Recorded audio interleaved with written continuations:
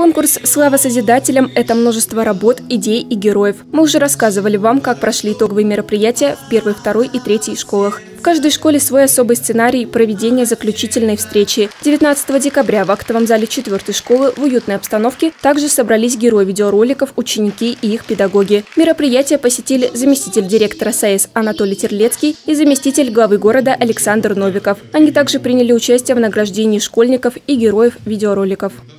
Благодарю вас за ваш вклад. Кто-то строил, кто-то эксплуатировал, участвовал э, в эксплуатации нашего общего объекта, независимо от того, где мы работали, непосредственно на станции, либо вспомогательной организации, в школе воспитывали детей. Все равно мы все делали одно поручение. Мы все работали на безопасную эксплуатацию нашего объекта. Спасибо вам за ваш труд,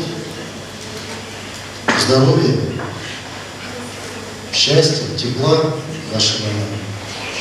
Ну и спасибо за то, что откликнулись на призыв нашего молодого подрастающего поколения. Ученики 4 школы Анастасия Камилова, Илья Зюков, Валерия Григорьева победили в городском туре конкурса. Их работа будет отправлена в Москву для дальнейшего участия в федеральном этапе. Это был Спанов Петр Михайлович, он был первостроитель нашего города.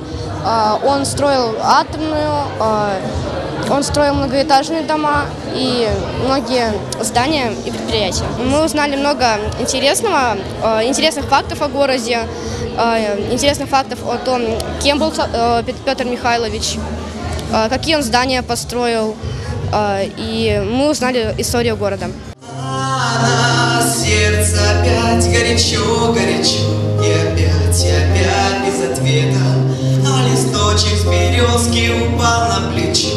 Он, как я, оторвался от